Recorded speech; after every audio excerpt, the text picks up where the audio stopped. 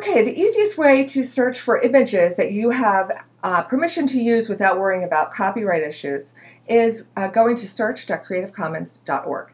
And here on this dashboard are all the different um, websites that provide Creative Commons content.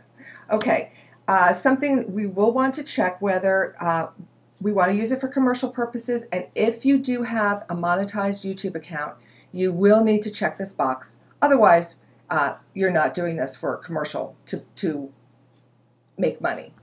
Uh, modify, adapt, or build upon. Um, if you do change it, eh, change the picture in any way, crop it, add it to a add it to a video, so to speak. You're actually building upon that image. Uh, you are going to want to check this box.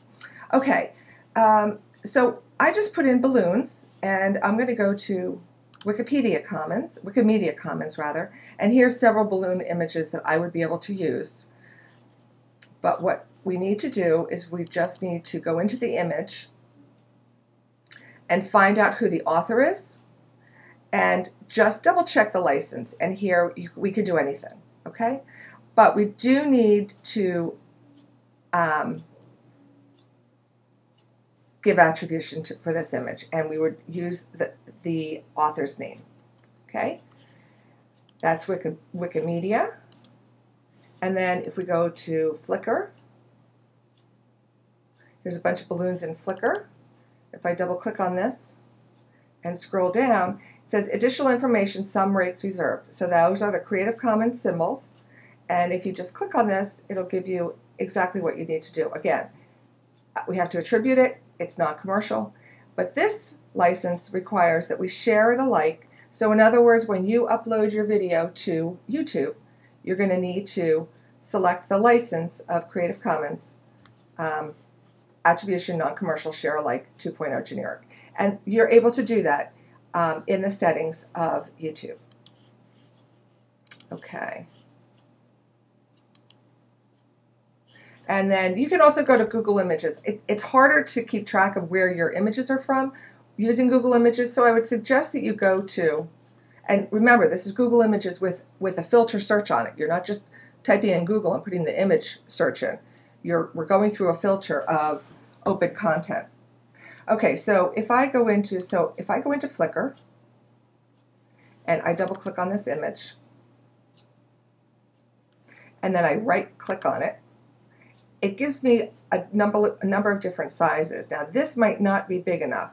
So this original size I think might be, oh, it is good, a thousand. So we do want to have at least a thousand wide uh, so that we can fit it into a, a, video and it, it won't pixel, you know, won't, won't look um, bad. So we're going to download the original size of this, and this is Mortimer with a question mark. This is the, the person that created this image. So download the original size. So we're going to download it. Now I'm on a Mac, so it's a little different on a Mac. But what we're going to do is we're just going to save this as, um, so we're going to export this as and I'm going to say balloons underscore and Mortimer question mark. I don't know if it's going to allow that as a file name, uh, Flickr. And this helps me to keep track of what I'm, where I'm getting these images from. I want to have it as the best quality, and I'm going to save it. Now this went to my desktop, and I'm just going to move this over and I'm going to show you that I have a folder for Flickr images.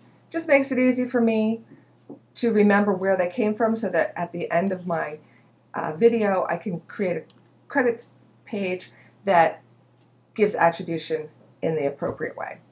And that's all you have to do. Then you go back. But always double check and make sure that you are in Creative Commons search, and that's really easy by just seeing the little Creative Commons symbols under additional information.